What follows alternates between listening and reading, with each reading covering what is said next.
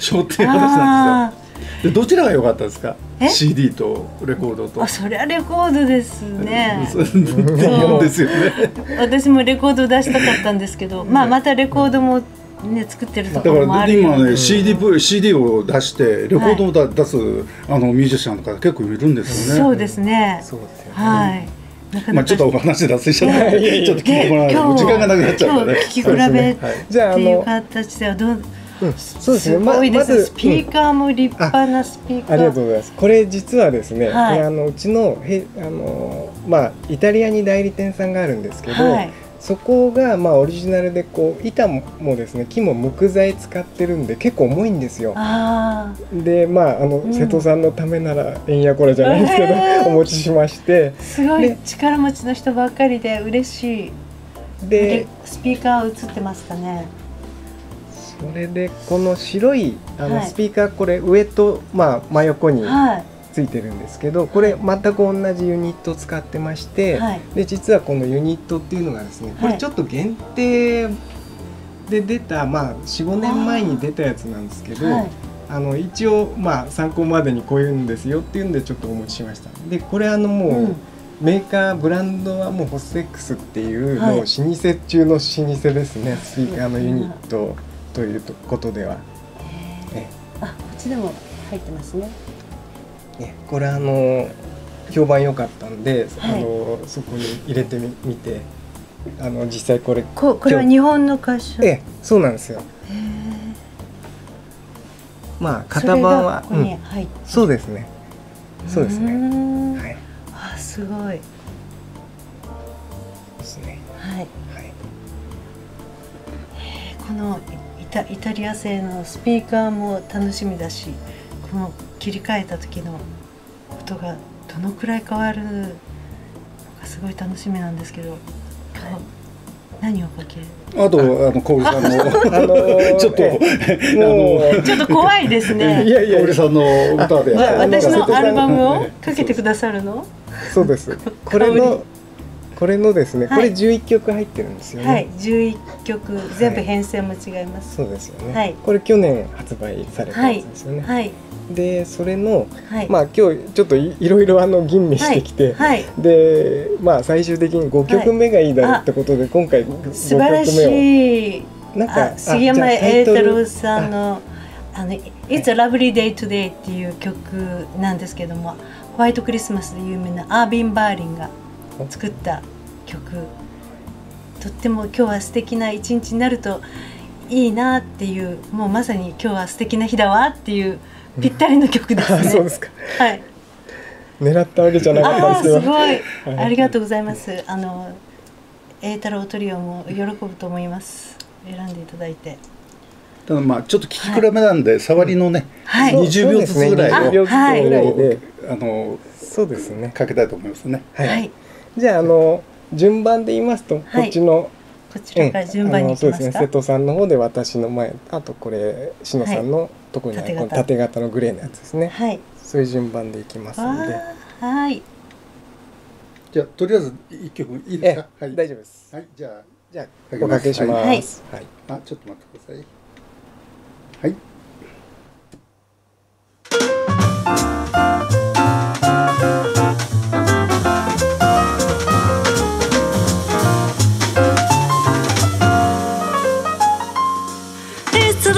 day today. So whatever you've got to do, you got a lovely day to do it the truth. ちょっとサーリンのところはい、そうですね。じゃあ続きまして、このこっちのアンプですね。真ん中のアンプです。はい。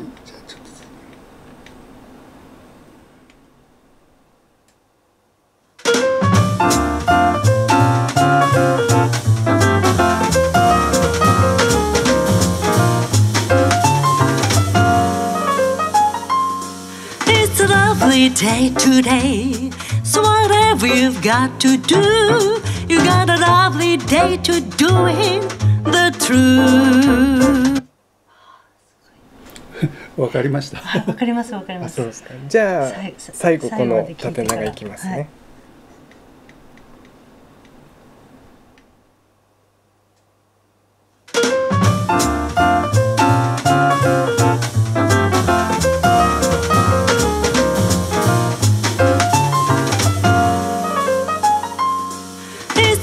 Lovely day today. So whatever you've got to do, you got a lovely day to do it the truth. すごい違いますね。うん、あのこちらは声とかもう最初のスタートですごく明るく、うん、はいでちょっとほっとする感じでなんかと吐息のような息の声もちょっと聞こえて、うん、こちらベースがすごいやっぱりしっかり聞こえる、うん、そう。まああのそうです、ね、あの10人中67人の意見と一緒です。はい、すごい。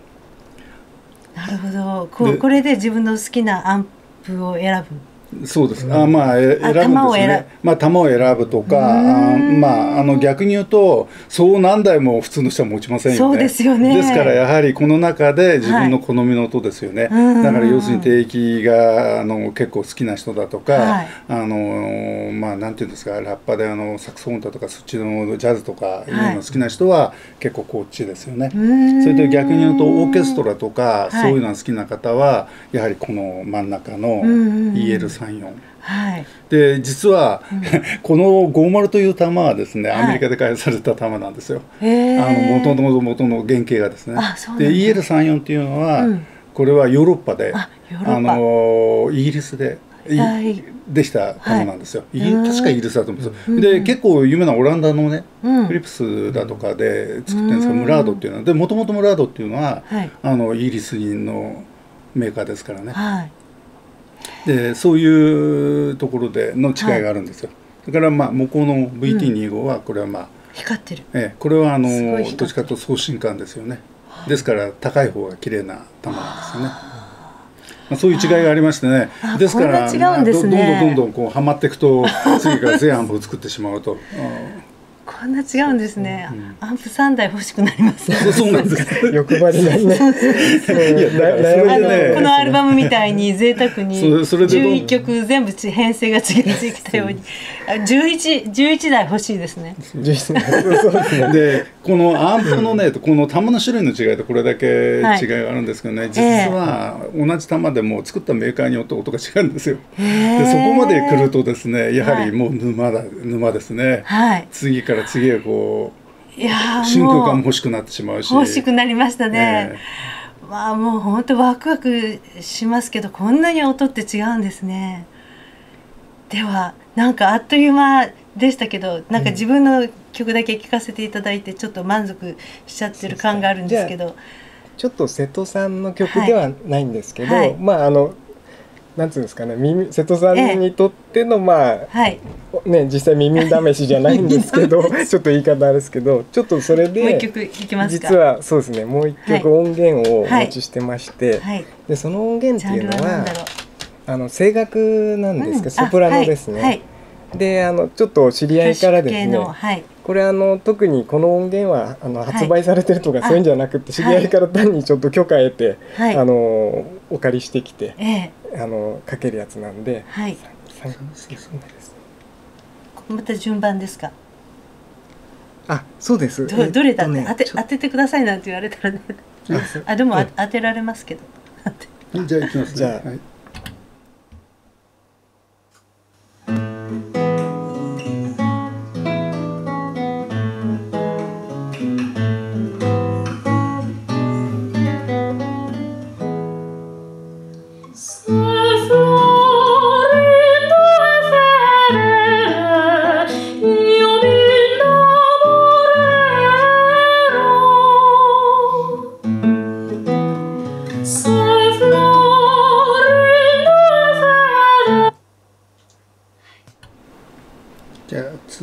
球を。はい。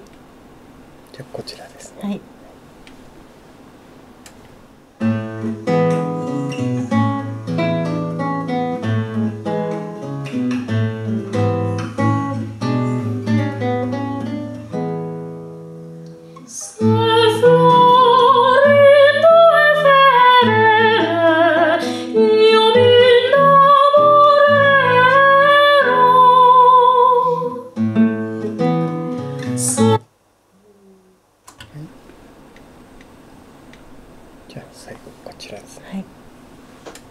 はい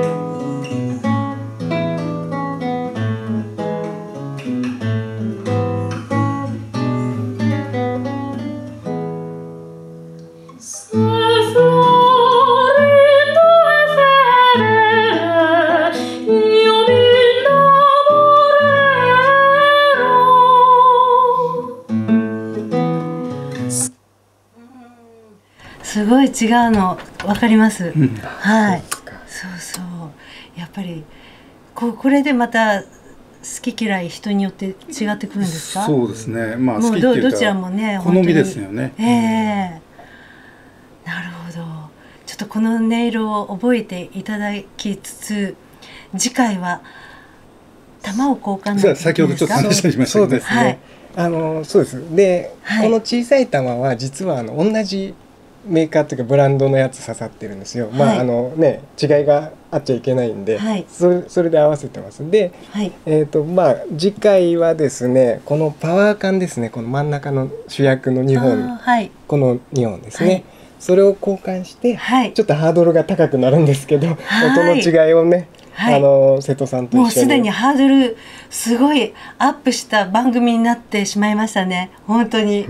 ね。何回目ですか、ね、最高にゴージャスな番組になりました、では皆さん次回も。また。はい。お楽しみくださいね。それでは今日は聞き比べ第1回目でした。